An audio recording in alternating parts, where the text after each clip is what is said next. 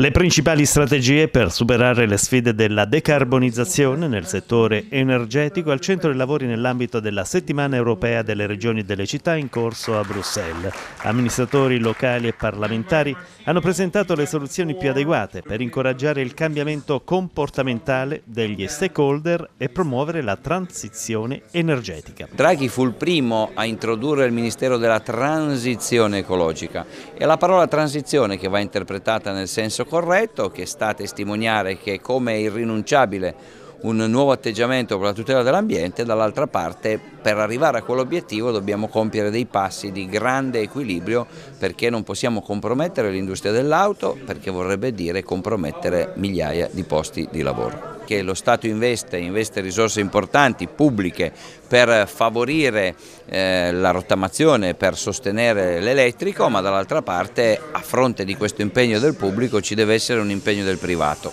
E l'impegno del privato per l'Italia vuol dire Stellantis perché è l'unico costruttore che noi abbiamo nel nostro paese ma che deve incrementare la costruzione dei propri veicoli. Dobbiamo fare più macchine in Italia, almeno di quante se ne fanno, quante Stellantis ne produce Francia e questa operazione si riesce a fare con uno sforzo congiunto governo, regioni e azienda ed è quello che finalmente sta avvenendo a tutela di tutta l'Italia e anche di quell'area dell'Abruzzo estremamente importante e significativa e che al pari del Piemonte, al pari dell'Emilia Romagna, al pari della Basilicata, della Puglia e delle altre regioni dell'auto deve essere tutelata.